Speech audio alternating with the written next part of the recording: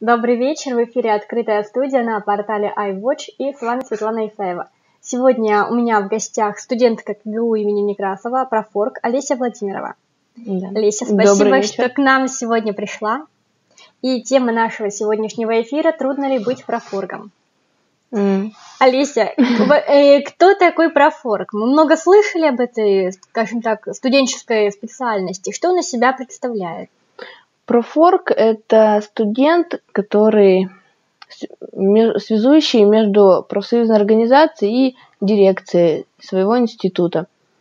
Вот. А профорг занимается защитой прав студентов в сессии, с конфликтом преподавателей, с конфликтами, кто проживает в общежитии, иногородние студенты. Профорг э, занимается активной жизнью, общественной жизнью университета. Ну, в общем, помогает студентам, получается. Помогает, полностью согласна, помогает студентам и проявляет, ищет студентов, которые талантливые. Например, студенты, которые учатся на экономике, они могут танцевать, петь, рисовать, скрывают свои таланты. А также они, а вот профорка им помогает раскрыться в любых мероприятиях, которые проходят в университете и вовне университета. Такая всеобъемлющая задача перед тобой. И я напоминаю перед тем, как мы перейдем к обсуждению, у нас действует интерактив. Сейчас во время прямого эфира вы можете задавать вопросы, и в завершении встречи мы на них ответим. Вот ты обозначила несколько задач, которые mm-hmm. выполняет прежде всего профорг. Я тебе сейчас предлагаю остановиться на каждой более детально, и ты бы на своем примере рассказала, как ты действуешь в тех или иных ситуациях. Вот, на мой взгляд, один из самых таких животрепещущих тем – это защита прав студента в случаях, допустим, отчисления. Mm-hmm. Бывает такое, что вот студент на грани. Каким образом профорг может повлиять на то, чтобы студента не отчислили? Профорг, э, сам студент э, может вообще подойти к профоргу и попросить помощи. Если нет, то мы все равно узнаем, так как мы тесно общаемся с дирекцией. Журналы все равно где-то есть. Конечно, по посещаемости. Я как профорг всего института, я э, общаюсь со, с профоргами групп и направлений. И мы тоже общаемся и узнаем про все отчисления, неполадки в группах. И я могу подойти в дирекцию, поговорить с преподавателем, зам директором чтобы этого человека дали шанс ему. Ну, ну бывают есть, же разные такие заступки за студента. Да, получается. разные бывают ситуации. Студент студенту больше расскажет, чем студент директору, например. Угу. Вот и мы разговариваем, общаемся. У профорга не только защита, а вот ему надо так защитить студента, которого mm-hmm. отчислят, чтобы ему поверили. Что он действительно у нас да. спортсмен, просто да. красавчик. А вот почему, так... допустим, вот студент не может сам подойти? Все равно любой студент понимает, что если он 10 лекций из 11 пропустил, проблемы будут.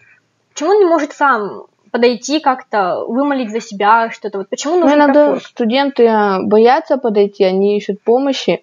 А если студент, например, вообще активист и участвует каких-то, например, студенческой весне, областной студенческой весне, и он за честь университета идет, он, естественно, пропускает. И тогда мы можем обратиться в профсоюзную организацию, и там пишут освобождение за подписью ректора, что это ну, он отсутствовал по причине, по важной Допустим, причине. Допустим, театральная весна, и да, он да, да. занимается. И он не просто так прогуливал эти занятия. А вот другой момент, допустим, решение конфликта с преподавателем. Очень часто возникают недомолвки. Угу. Здесь ты как приходишь на помощь? Я подхожу к преподавателю и а, общаюсь с ним на почему у вас конфликт с тем или иным То студентом. Психолога ну, отчасти. да, наверное. Да, могу помочь. Ну, у меня был такой пример, то что тоже студент был, у него там проблемы в семье были, деньги, работал. Mm-hmm и просто подходила к преподавателю и объясняла, что надо вот помочь. Да и мы сами вот помогаем по учебе. Сами помогаем ему выйти из этого чтобы не отчислили. Как учителя относятся к профоргам? Потому что есть студенты, которым сколько не помогаю, они все равно вот как э, гуляли, так и будут гулять да, бесполезно. Есть, есть такие. Вот как в такой ситуации быть? Вы тоже понимаете, что смысла нет его подпинывать, он не понимает? Не понимает, но тут я даже не знаю. Тут уже даже ты... сам Господь Бог бессилен, мне да, кажется. тут, потому хочет. что если человек сам не захочет, его никто не заставит, ни профорг, ни профсоюзная организация. Если мы ему помогаем и даем все шансы, чтобы он дальше продолжал учиться, а он говорит, он чувствует, что за него заступится, и он дальше продолжает прогуливать. Садится на хлеб, да, откровенно говоря. Да, и ну, мы понимаем, что это уже бессильно. Это уже его проблемы. А вот ты, ты как себя как профорга позиционируешь, как э, друг, как, э, грубо говоря, мама, как э, такой, скажем, кто-то вышестоящий над студентом. Вот какая ну, я душа? стараюсь никогда выше себя не ставить. Я То стараюсь есть, подруга, помогать. Либо это Конечно, да, дружеские простые отношения, как бы сам человек простой, и когда ко мне просто кто-то лезть, надо помочь, то-то, то-то, то-то сделать. Хорошо, если это в моих силах, то я, конечно, помогаю. Никогда выше себя не ставлю и спокойно общаюсь со всеми на уровне. А преподаватели как к профургам относятся? Э, есть разные преподаватели. Нет такого, что «О, опять она идет, боже, опять будет заступаться за какого-нибудь мальчика». Нет, нет такого, но есть вот такое, что, как бы сказать, и вот ты молодец, ты помогаешь студентам, ты активно участвуешь во всей деятельности, защищаешь там наш институт или представляешь наш институт. Но есть такие, что вот учиться надо, учиться, но... Проф... Что я сказал нет, значит нет. Да, но вот деятельность профорга, она не влияет на учебу вообще никак. Угу. То есть такая палочка-выручалочка, можно сказать. Ну да. И другой момент решение вопроса в общежитиях. Потому что возникают часто ребята иногородние. Вот какие здесь чаще всего возникают конфликты? Я сама живу в общежитии иногороднее про, вот профсоюзная организация очень помогает по общежитию. Какие проблемы? Поздно возвращаемся в дискотеку. Мы что? вот как бы отстояли то, что нас в общежитие пускали бы после 11, Отлично. потому что ну, гуляют, да, вот это, конечно, не пускают не в трезвом виде. Это... То есть, если пришел пьяный, вот тебе лавочка. Не, вот не, не, нет, они как? пускают, но замечания каким-то, угу. чтобы, ну, так нельзя, все равно надо же воспитывать. А если вот человек работает до 11 и зарабатывает деньги, то, конечно, его без проблем пускают. То есть индивидуальный подход вы обеспечили? Да, вот э, если, ну, всех выпускают в общежитие, но причины разные все равно бывают. Если вот он работает, то без проблем, а так вот все равно надо же не надо пьяным приходить. Как вам удалось такой подход найти? Потому что проблема актуальна, я считаю, для многих общежитий. Ребят не пускают после определенного времени. И говорят, неважно, какая причина, все, закрывают перед тобой да, двери, и дальше твои проблемы. Ну, это, чтобы не пускать в общежитие, я считаю это неправильным. Человек там прописан временно, он, это его жилье, он должен жить. А как мы это решили, это все на собрание профоргов, профсоюзной организации нашей. Мы подняли эту тему, потому что очень жалоб было много.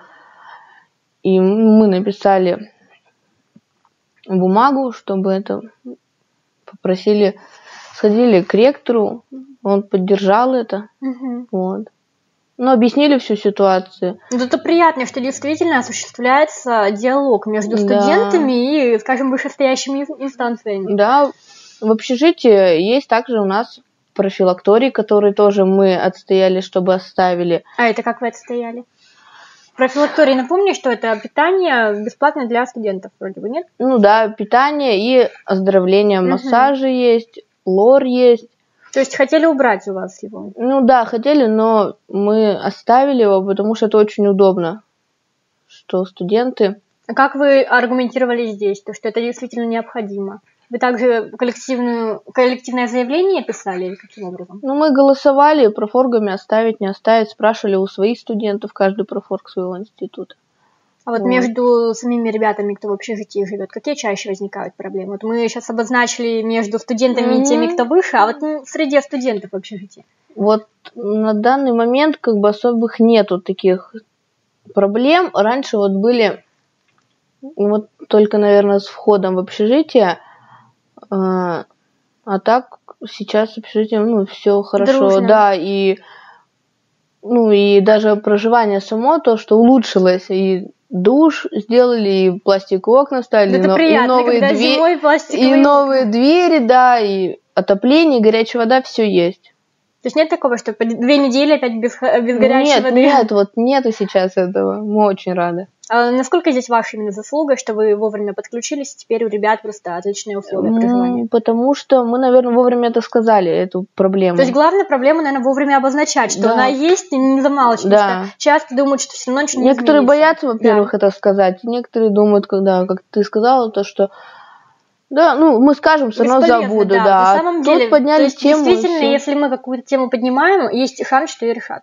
Конечно, решат. Вот все проблемы, никогда не надо стесняться, это говорить про форгом, и про форги это записывают у себя, и потом на собрании То есть не просто ради галочки, Да, потом мы ушли. все вот эти проблемы говорим на собрании про форгов, и их все решают. А как часто эти собрания профоргов проводятся? У нас каждую неделю проводится, каждый понедельник. А сколько вас вообще профоргов будет? На данный момент э, у нас сейчас институты в университете. Вот, пять институтов и шестой факультет, шесть профоргов. Но у профоргов есть еще заместители профоргов, которые по другим направлениям, помощники, можно так сказать. Мгм. Вот мы обозначили общежитие а, в поисках талантов. Вот здесь как ты действуешь? Ну, это... Это ВКонтакте. Мы со всеми профоргами общаемся через беседы, через группы. И когда на собрании про форгов нам говорят всю информацию, что, вот, например, у нас проходит, как в нашем университете, проходит риарт, это таланты. Ты сразу так Песни. смекаешь, кто у тебя лучше да, поет, кто, кто, лучше кто танцует. танцует, кто поет, кто стихи читает. Я сразу информацию кидаю, говорю, вот, ребят, надо то-то, то-то, то-то, кто желает, я, я желаю. И они приходят в профсоюз, профсоюз, записываются и проходят конкурсы по таким, и идут награждения. Все у нас э, в начале года идут такие мероприятия, как знакомься.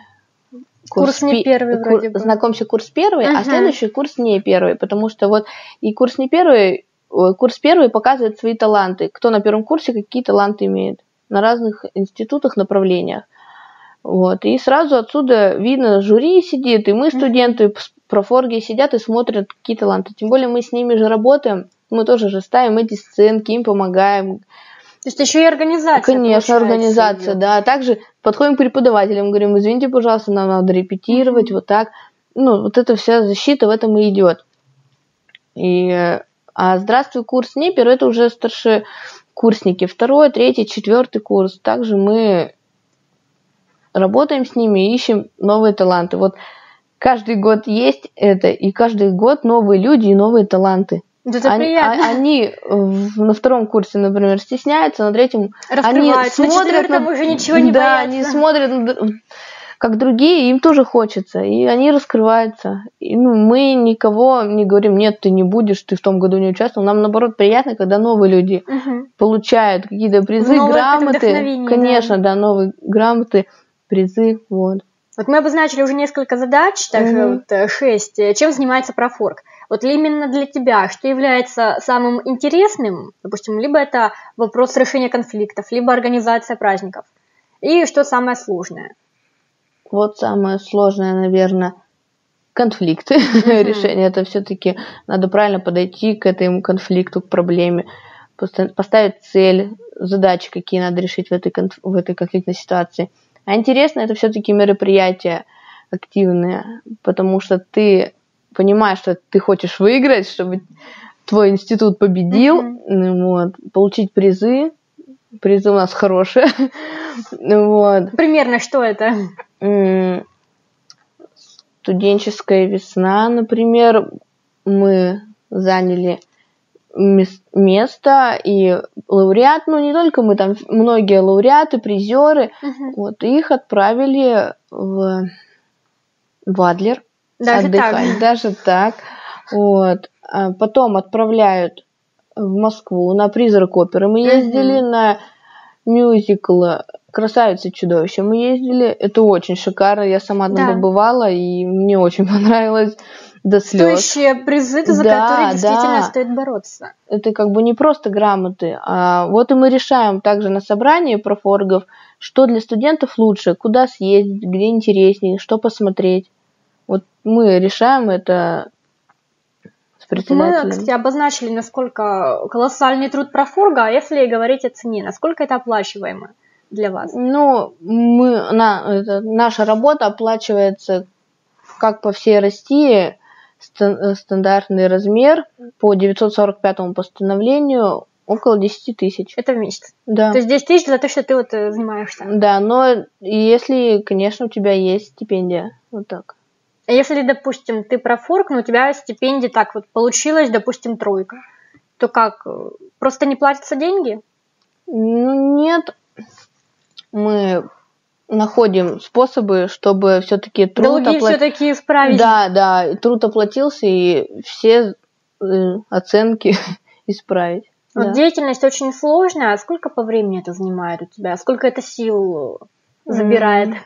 Ну, сил я бы не сказала, что забирает. Мне потому просто это мне интересно и понимаю, что это мое и работать, и со студентами общаться, и с другими людьми общаться. Это приятно, я не считаю это... Ну, это, можно сказать, работа в удовольствие. Uh-huh. Вот, и я не смотрю за временем, но за сколько мне это. А у тебя это не вредит учебе, допустим? Нужно какое-то мероприятие организовывать, у тебя там еще экзамены, сессия. Ну, нет, нет, не вредит. Не вредит? Нет. Если говорить о том, как вот ты стала профоргом, что именно тебя вдохновило? Почему ты решила, что вот это твое? Я просто... Зах... Я первый год ничего не делала. Стеснялась? Просто сидела, учила уроки, ходила на пары. А потом захотелось что-то интересное, живое. И узнала о том, что есть профсоюзная организация. Мы... Э, вот. И там потом у нас был пере... выборы профоргов, я предложила свою кандидатуру. Угу. Вот. А и... ты надеялась в тот момент на победу или просто э, попытать счастье? Ну, можно сказать, попытать счастье. Ну, со студентами мы разговаривали, кто да, кто за, кто против. Вот. И так получилось, что вот меня выбрали профоргом. Сначала я была профоргом факультета, угу. а сейчас, как у нас институты стали, теперь профорг института. Больше обязанностей стало? Конечно, больше, там и народу больше. Это закаляет, вот эта работа профоргом, это вопросы организации, опять же, урегулирования конфликтов. Вот что это дает лично для тебя, какие качества развивает, помимо коммуникабельности? Качество. Может быть, Уверенность в себе, ответственность. Не только за себя, но и за студентов, ответственность за сам институт, который ты представляешь. Вот. Не упасть в грязь лицом ну, перед другими профалями. Да, да, вот можно так сказать. Когда ты, например, в каких-то мероприятиях выигрываешь, или ты, например, тебя отправляют на школу семинара. Вот лично я ездила в Москву а и в Орел. Школа семинара про степ, степком называется. Угу. Это для это, развития проф... Это, да, нас мы не только вот работаем и учимся по своей специальности, нас еще отправляют на обучение вот по стипендиям учимся мы. Как рассчитывать стипендии, стипендиальный фонд, да. То есть этим, это тоже входит в задачу профорга? Ну, да, это вот, чтобы обучиться, свои знания повысить. Это очень интересно, потому что ты вот ездишь и в Москву, и вот мы ездили в Орел тут, ты общаешься с другими представителями других вузов, других городов и узнаешь больше. Вот, например, у кого-то что-то есть, ты предлагаешь у себя в университете тоже. Вот. А вот если сравнить тебя два года назад и сейчас, э, что принципиально изменилось в тебе, может быть, какие-то качества развились, и в твоем, может быть, мировоззрении? К чему-то ты стала иначе относиться? Наверное, серьезность больше, вот. Ну, больше ответственнее стала относиться вообще ко всей работе. Думал раньше, а, ну ладно, не буду делать, а сейчас нет, я понимаю. Теперь ты понимаешь, что, что это надо сделать. Люди. Да, что если я не сделаю, то они не узнают, например, если я не передам какую-то информацию, то они не знают об этой информации. А тебя ночью одолевают звонками, что помоги, скажи, как здесь нет, лучше. Нет, то есть нормально. Ночью нет. Телефон не разрывается, в этом нет. плане спокойно. Да, ничего не разрывается. А если сравнивать староста и профорг, то есть староста похоже, в принципе, обязательство информировать, как-то тоже старост, чем отличается? Староста, она ответственна за свою группу. Например, четвертого, третьего uh-huh. курса отдельная. Вот. А профорг ответственна за весь институт. И вот как на собрании скажут информацию про форгом, профорг задает это информацию старостам. Профорги быстрее всего обо всем Конечно, узнают. да, потому что профорги узнают быстрее всего, они передают информацию в дирекцию, потом старостам, а старосты уже студентам по группам. Вот отношения между самими профоргами какие? Вы конкурируете? Вы в дружеских каких-то Вот отношениях? или самое что? главное, что мы очень в дружеских отношениях. Мы... Как это удается? Ну, профорги, на мой взгляд, это все равно лидеры. А когда несколько лидеров в коллективе, это очень печально обычно. Да нет, почему? Мы дружим, общаемся, и когда кто-то выигрывает, проигрывает, мы все равно поддерживаем друг друга То в есть любой злости в принципе Нет, нет, никакой злости. Как часто выбирают профорга? Это раз в год, либо реже, чаще?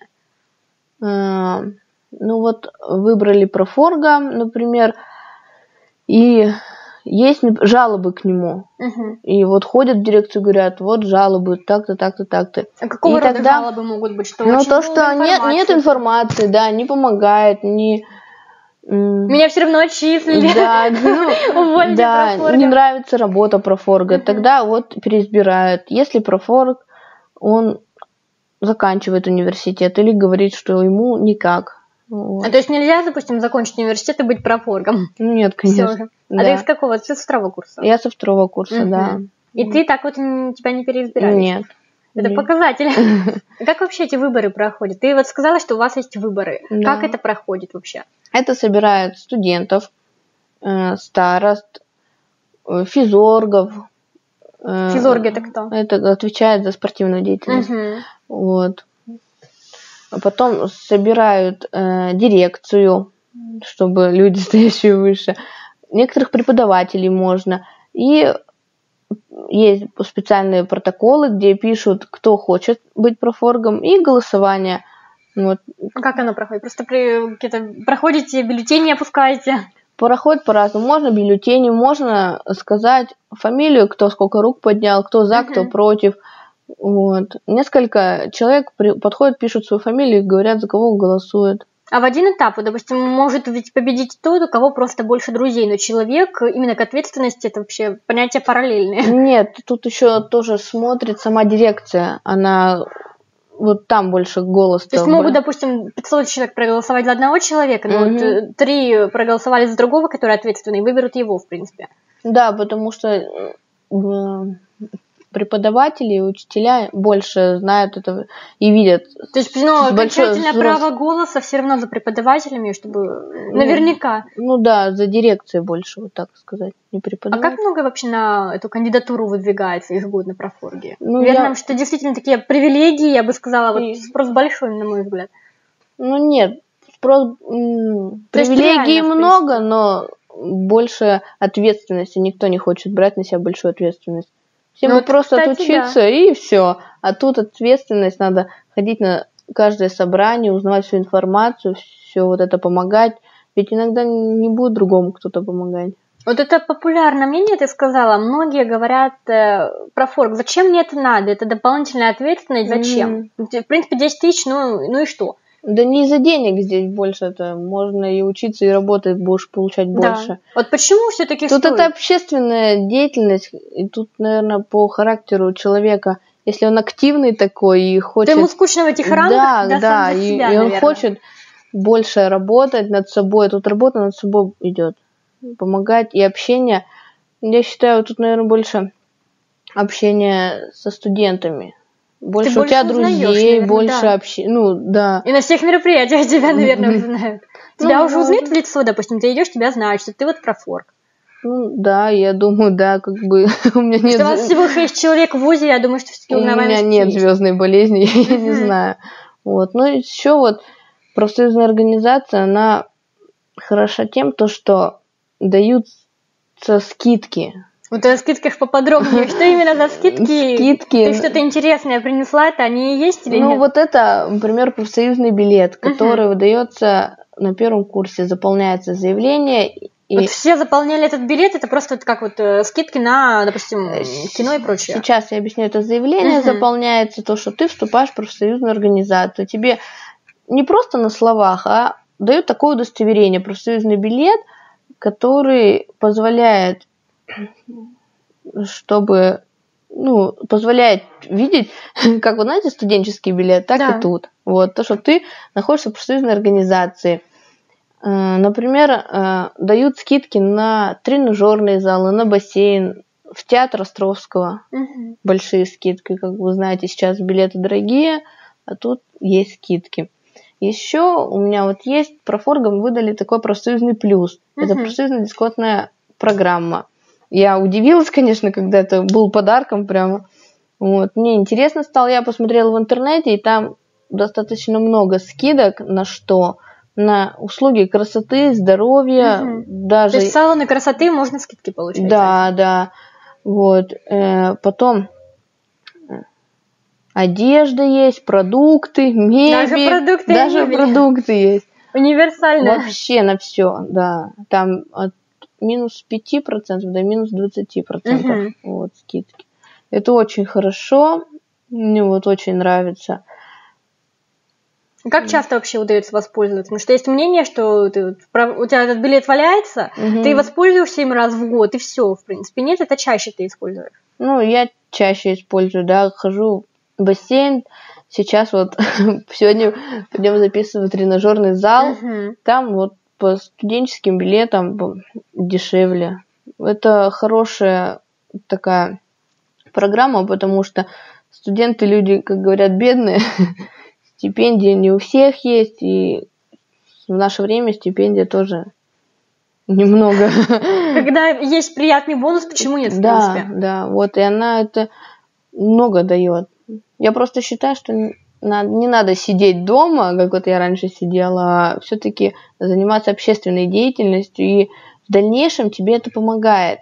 При этом, вот когда ты где-то участвуешь, занимаешься, тебя же поощряют грамотами, вот, призами. А, так как у нас в университете есть рейтингово-бальная бально-рейтинговая система, то к обычной стипендии, кто на 4-5, просто 5 учится, есть еще стипендия, прибавка к стипендии, можно Мгм. так сказать. Вот сколько ты, например, поучаствовал в университете, где-то зарабатывал, ну, по науке, по спорту, по культуре, вот, этот балл высчитывается, тебе приплюсовывается еще добавок. То есть и материально еще и связи у тебя появляются. Мгм, Да, вот.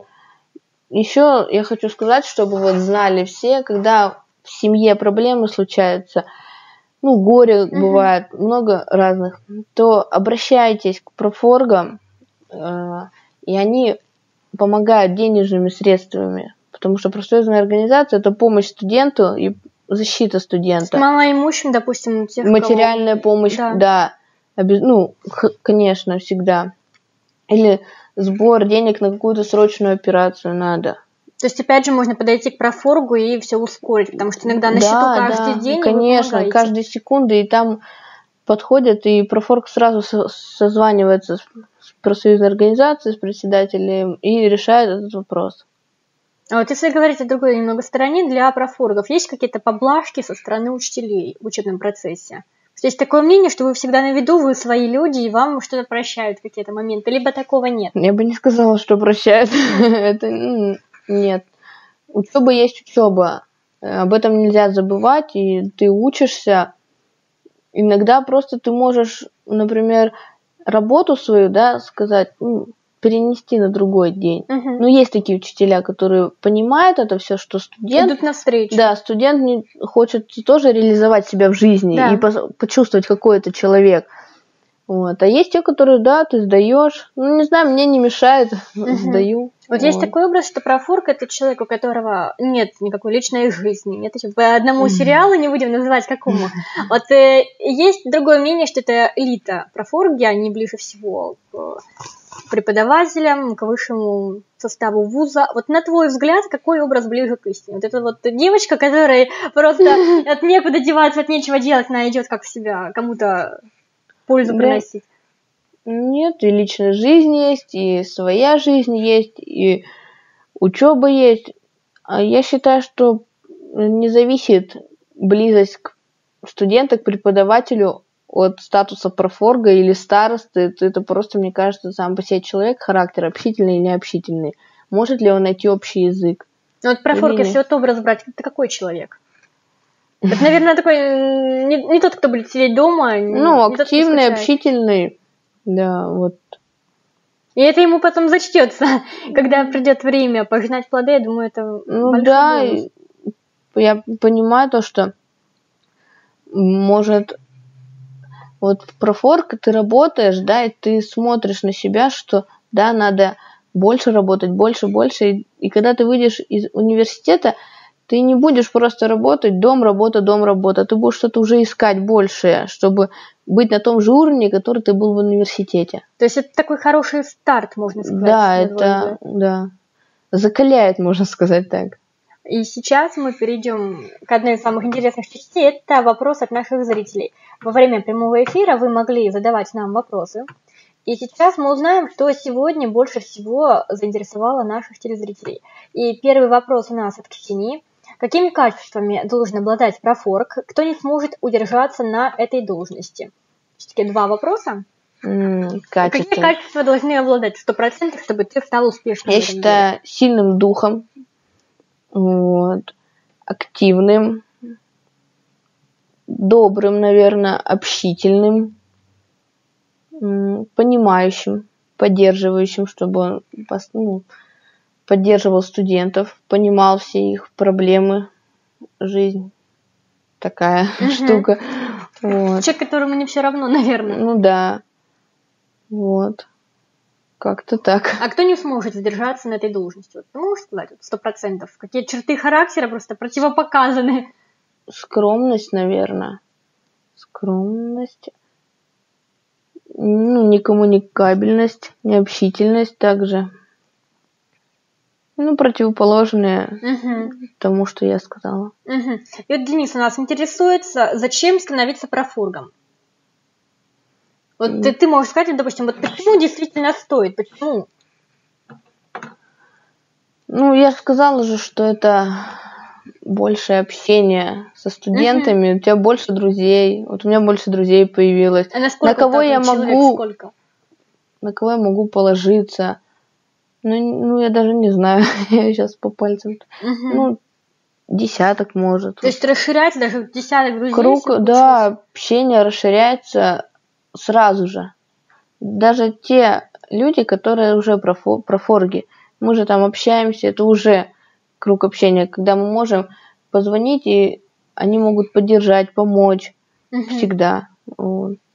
И вот сейчас а, в финале, что ты можешь пожелать нашим зрителям, кто еще только думает, стать ему профоргом или нет, какие ты им можешь дать напутствия? Я считаю, что это хороший урок в жизни профорг. И никогда не сидите на месте дома. Это общественная жизнь. Это очень интересно. И, ну, и яркая жизнь в университете. И студенческие годы, они никогда не забываются. Ну, вот. Ты, наверное, шанс сделать их еще более яркими. ну да. Вот когда я становилась парфоргом, я думала, ну, ладно, посмотрим. А сейчас мне больше и больше хочется узнавать, интереснее становиться.